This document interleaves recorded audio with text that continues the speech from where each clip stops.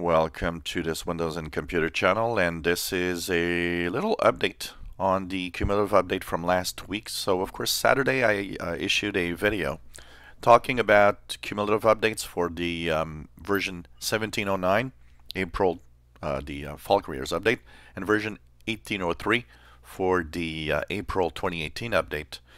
Um, and it's a mixed bag because a lot of you say well I haven't received this yet so I'm wondering what should I do. Uh, and you've been um, there's been quite a few uh, messages sent to me as to uh, should I you know download it from the Microsoft Update Catalog. Look, this update is really a bug fixing update. It has nothing to do with security. If your PC works well, if there's no issues, I do not recommend that you go and get it manually, honestly wait for it if it ever appears on your machine. Technically, Windows updates sometimes for some machines might not be pushed for some reason. It doesn't mean it's going to break your computer, but it isn't pushed. Maybe there's something that for your specific computer, it shouldn't be there for now.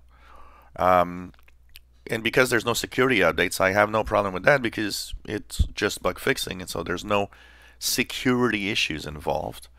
So I would um, I would just you know don't don't worry about it. Um, I, I in computers I've learned one thing over all the times that I went to fix PCs, and it's if it's not broke, don't fix it, uh, because you can do something that will break uh, you know Windows or whatever. So leave it alone.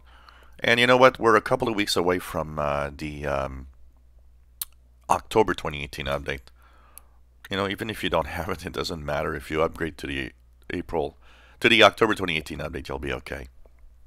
So just hang in there, and if you don't see any of the two updates that I talked on Saturday's video, uh, just don't worry about it.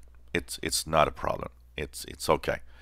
You know, the important things in Windows Update is the security ones. Security updates are really, really important because they really keep you safe.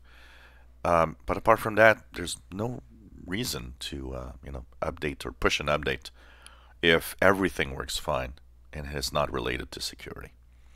So um, just to kind of update on the situation. If you enjoy my videos, please subscribe, give us thumbs up. Thank you for watching.